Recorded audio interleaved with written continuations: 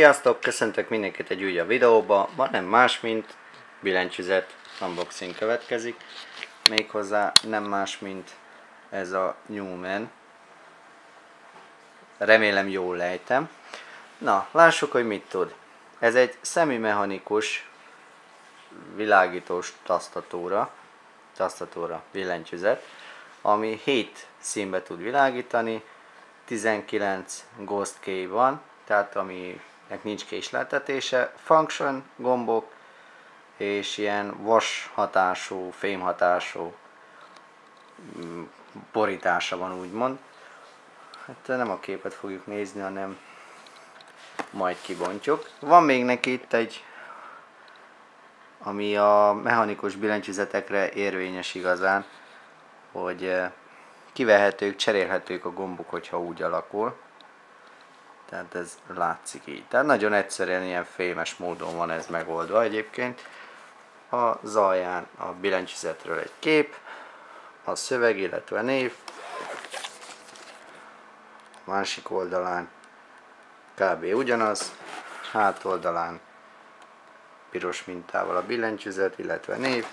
Hátoldalán pedig ez egy ilyen szürke billentyűzet, hát ilyen, ilyen is létezik ebből. Én nekem a, inkább ez a fekete sötétített változat van meg. E, specifikációk, mérete, gaming keyboard, USB-s, asszín, iron gray, ilyen pirosas, white, black. Az enyém az black, és akkor itt vannak még további információk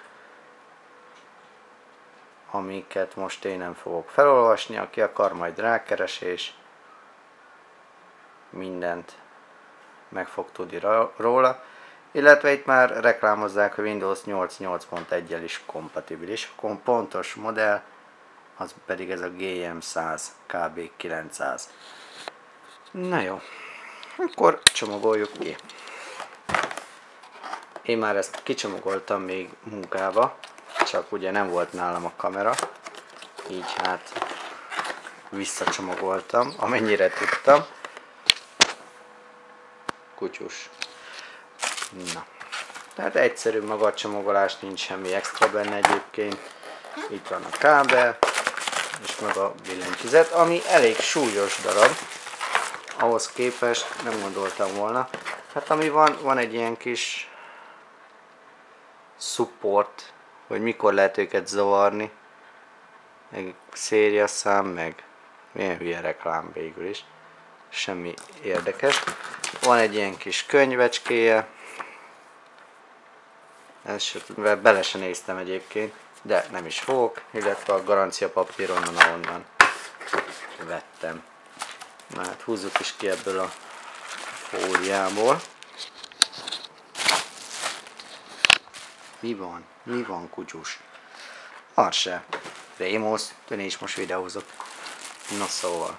Maga a kábel ez ilyen, nem is tudom, hogy mondják ennek normálisan, magyarul.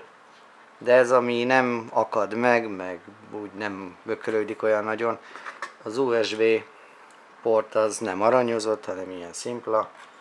Viszont itt ilyen kis mintás kicsit. Na jó, visszamegyünk manuál fókuszra. Tehát nem tudom, nincs elég fény. Tehát van rajta egy USB minta. Jól néz ki végül is. És a kábel pedig ilyen fekete-kék mintázatú, nem valami hosszú. Na de lássuk magát a billentyűzetet.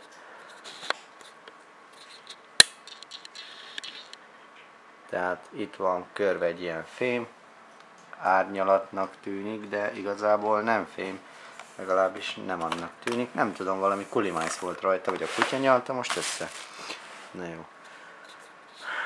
Tehát itt ez, ami nem tetszik, hogy itt van a weboldaluknak a címe. Ezt nem értem, mi a szarra kellett.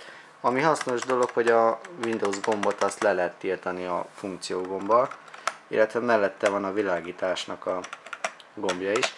Tehát játék közben mondjuk Dotánál is előfordult, nem egyszerről megnyomtam a Windows gombot és kilökött desktopra a meccs közben, úgyhogy azt szívás. Illetve itt van még egy egy ilyen cég logó, a Newman.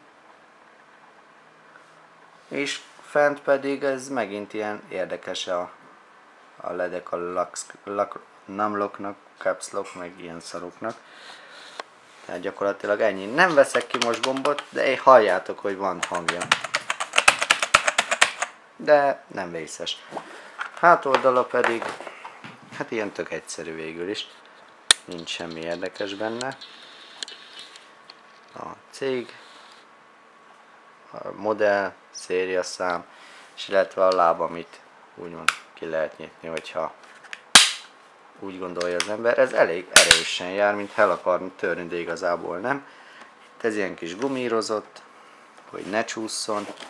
Az oldalain pedig gyakorlatilag semmi nincs se fent. Tehát ez gyakorlatilag ez egy ilyen nagyon olcsó belépő szintű szemimechanikus billentyűzet.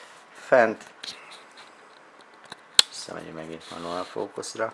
Funkció gombokkal, szám, tehát multifunkciós dolgokat is tud, számológép, home, lezárás, e-mail, a play, cuccok, tehát ilyeneket is tud. Tehát gyakorlatilag multifunkciós is a billentyűzet, csak hát a funkció gomb, mit van a funkció gomb segítségével. Na jó, vissza az autofókuszt, és dugjuk be, lássuk, hogy mit csinál.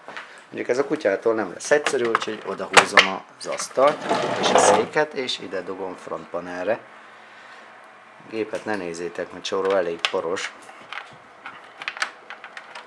Ha egyáltalán elkapom a lyukat. Persze, egy kétféleképpen lehet bedugni egy USB kábel, de valahogy mindig rosszul sikerül. Tehát ez zölden világít. Eloltjuk a villanyt. Kutya meg persze nem hagy békén. Igaz, Rémusz? Igaz? Na. Na lássuk. És akkor ez így világít. Feketén. Maga a billentyűzet, tehát a gombok azok nem világítnak. Csak körülötte és a logó. Fent pedig hiába zölden világít ez a szar, ez még mindig kéken világít, de így egyébként elég jól néz ki a dolog. Na lássuk, hogy találjuk meg a fókuszt, és mit, milyen színeket tud még. Zöld, piros, kék, sárga, zöldel, lila, világos kék, és ez megint nem tudom, ilyen kékes-fehér, gyakorlatilag mondjuk fehérnek, és el ki lehet kapcsolni, hogy ne is legyen világítása. Tehát én pirosan fogom használni, mivel az egerem is a kis Microsoft pirosan világít. Na, hát gyakorlatilag ennyi lett volna ez a videó. Köszönöm a figyelmet, sziasztok!